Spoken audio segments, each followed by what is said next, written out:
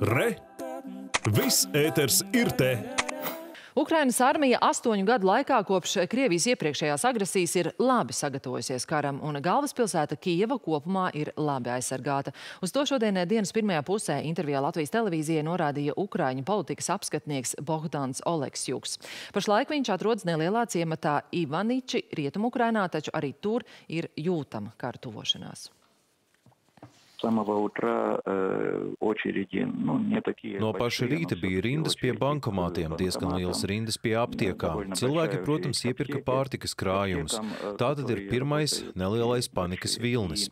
Kīva militārā ziņā ir labi aizsargāta. Vienīgi ir iespējami raķešu uzbrukumi. Krievijas armija un Krievija pēc būtības neīpaši atgādina Vāciju 1939. gadā. Tur bija daudz lielāks entuziasms un vēlme karot. Šā brīža Krievija ir citā situācijā situācijā. Savukārt Ukraina ir sagatavojusies šo gadu laikā. Ir kara darbības pieredze 2014. un 2015. gadā. Ir cerība. Katrā ziņā Krieviem neklāsies viegli. Ukrainas sabiedrībā ir pārliecība, ka mūsu armija ir stipra un aizstāvēsies. Mums nav kur atkāpties un neviens cits mūs neaizsargās. Tikai mēs paši. Šāda izpratne ir.